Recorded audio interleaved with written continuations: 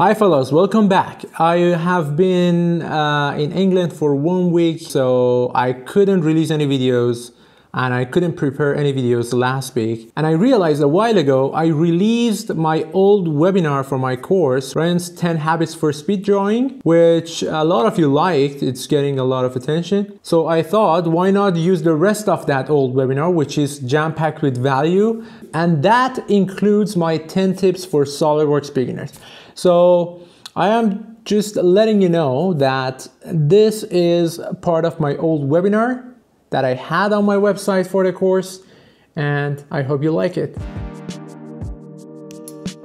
Number one, analyze your model. Finishing your model is not the goal. How to finish it should be your number one priority. Get that right from the beginning and you're set to take the shorter path to becoming a professional and creating efficient models. The solution to that is creating a mind map of where you're going. This is a technique I always use when I'm tasked with a model. I imagine the end results and break down its three main features. Take this space mouse for example. If I were to model this, I would look for the three main features I see in this model.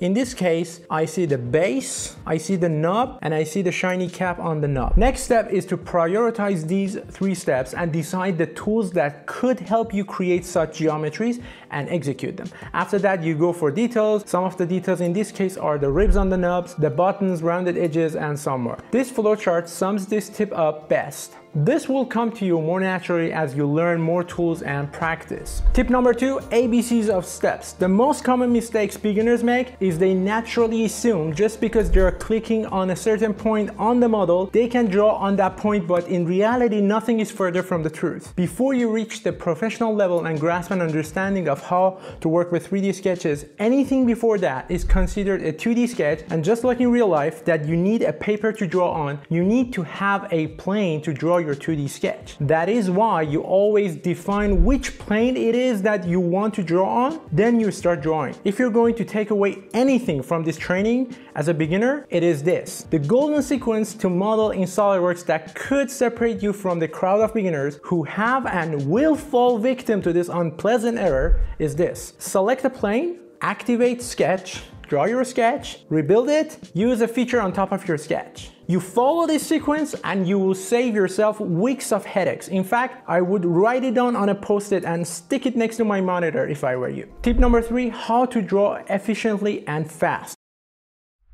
Tip number four, rotation of your part. I have seen many beginners working with view selector, which is this orientation cube that allows you to rotate the camera and look at your part from a different angle. This is not bad, but deactivate it. It is activated on default on many licenses. Press spacebar on the keyboard and deactivate it here. Instead, I'm going to give you a better alternative and then compare the time you need to rotate your camera between the methods. Holding shift and working with the arrows on the keyboard will grant grant you access to different camera angles at a much faster pace. Each time you shift arrow, you rotate your model 90 degrees to the direction of the arrow. Pressing the arrow itself without shift is a rotation at 15 degrees. While both are customizable, they are still a better habit to build than working with a view selector. Let's compare them now. First, the view selector. Every time I press the spacebar, I must wait half a second or so until the whole thing would fill the screen, then I can click to rotate it 90 degrees. But in the other method I recommended, you you can rotate your angle super fast without waiting seconds between each rotation. Tip number five, rolling back line and dragging a feature in the design tree. This design tree here is designed to log everything you do in a chronological order. Anything that is on the higher level is added first and anything that is lower is added next. When editing a feature, anything that is added after that will be temporarily suppressed meaning you don't see them at the point of editing until you will be finished and therefore you cannot use them as a reference when editing the earlier ones. It is like going back in time to tell your parents something in their younghood, but you cannot ask your siblings for help because at that point when your parents were young, you didn't have any siblings yet. So if you want to take your siblings with you, or in this case, if you want to have the later added features, you're going to drag them up in the tree either by literally dragging them with your mouse or roll back this line up above the feature you want to edit and then add the new features, then roll it down again. The caveat in this method is if the feature you want to move up is dependent on one of the features above it, moving is not possible. Whenever a feature is dependent on another, like in this case, this fillet could not have existed if there was no cube to round its edges in the first place. So the fillet is the child and the extruded boss here is the parent feature. You cannot drag a child feature above its parent feature. Tip number six, starting point of extrusion. Every time I get a project from a pro user and see their model is filled with so many unnecessary custom planes, it drives me nuts. This is a tip which beginners can also benefit from, but this is mainly addressed to upper intermediates and those who are becoming professionals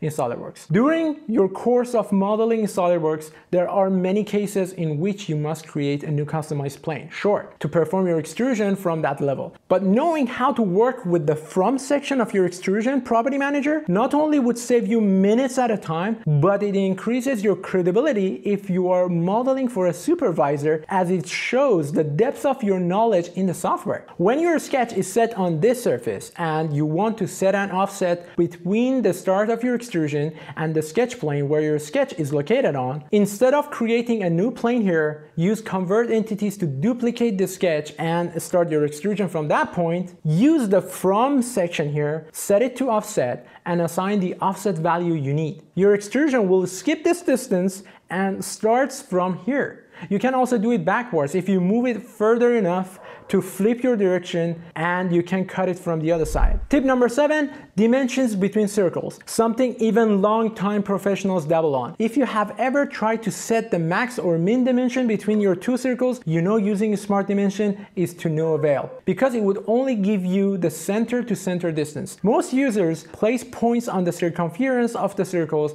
and assign a dimension to those points. The faster and more efficient way of course would be to hold shift on your keyboard while selecting those circles. This way, depending on where you click on the circle, you can assign the min or max or even the start to end dimension between them. Tip number eight, splines, one of the most useful and unique tools when it comes to sketching. Perfect for pro surface modeling, but probably the most tricky and difficult one to a point where despite its many advantages, even long time users try to go around it because they cannot get the hang of it. Spline is a flexible line that you can manipulate and bring to the geometry that you desire. You can create a spline by defining a minimum of two and maximum of as many as you want points. But the ideal spline has and should have only three points. This is not a law and certainly there are cases where you need more points. But if you master the two and three point spline, you can work with a 100 point spline. The two point spline has a two endpoints and on default looks straight, but you can manipulate it simply left clicking on it until these two gray vectors appear. You can drag each of these vectors either from their neck, their spear or their tip. If I drag it from here, I can only rotate the vector and you see the effect it has on the spline. Dragging it from here would only allow me to extend or shorten the magnitude of the vector, while dragging it from the tip will allow me to manipulate the vectors in direction and length at the same time.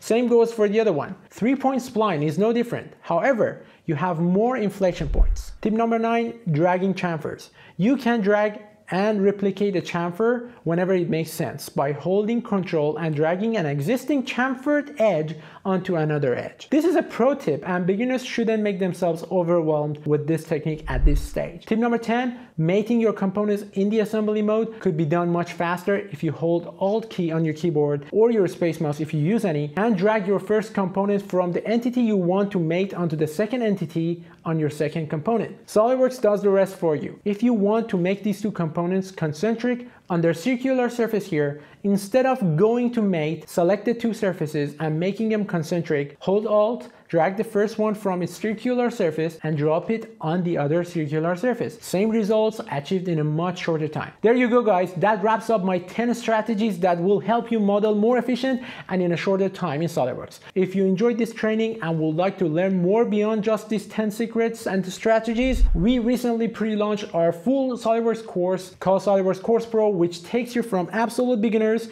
and help you pass the CSWA and the CSWP official SOLIDWORKS examinations. We have over 50 video tutorials ready, totaling over 10 hours of content in pre-launch level, and it's all jam-packed with value just like this training. At this moment, we are adding one to two videos per week to finish around 100 videos of tutorial lessons for the full launch. These videos will also include in the certification section for both CSWA, which is a certificate issued by SolidWorks, as well as CSWP, which officially certifies you as a SolidWorks professional. These certificates are invaluable and you can proudly put it in your CV when landing a job or a big client when you're doing freelance work. So there you have it folks. This is all I wanted to share with you today and I hope you took away a thing or two. Remember, the offer is a limited time deal, so join now before it is too late and elevate your SolidWorks skills to a whole new level.